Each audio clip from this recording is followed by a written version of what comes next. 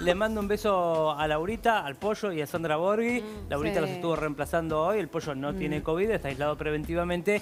Y Sandra y su familia sí dieron positivo el viernes. Hablé el fin de semana eh, con Sandra. Está muy dolorida con todos los Ay, síntomas. no. Ella y su familia me decía, me quiero arrancar la cabeza porque eh, le dolía todo el tiempo la cabeza, además del cuerpo, la fiebre. Sí, sí, Eh, los síntomas que son espantosos y según cada cuerpo pega diferente. Y, además me decía, estoy atendiendo Sí, a todos, sí, así que me tengo que levantar de la cama para atender a Claro. Así que te mandamos un beso Tremendo grande, Sandra, que te recuperes pronto.